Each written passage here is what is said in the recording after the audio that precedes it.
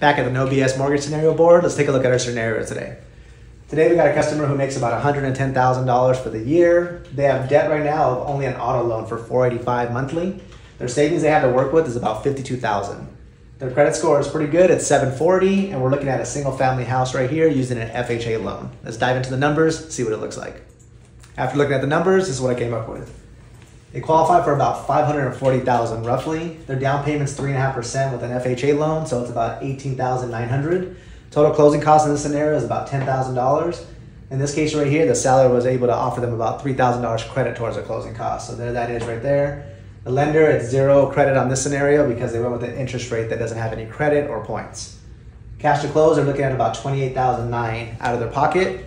Here's a monthly breakdown with the taxes and insurance and the mortgage insurance. This also has the updated mortgage insurance now that FHA has a lower uh, mortgage insurance premium, which is great for the home buyer. Total payment, you're looking at about 4130 all in, and then the rate we're looking at is 6.25. For this scenario right here, the advice I'd give this customer, if they want to increase their purchase price, I'd probably look at eliminating the 485 auto loan if it's doable because they have extra funds.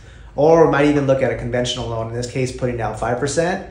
Because they have a good credit score, they might, their mortgage insurance might be even cheaper. So those are two tips right there. If you have any questions or scenarios, shoot me a DM or leave a comment down below. Make sure to follow for more No BS Mortgage Tips.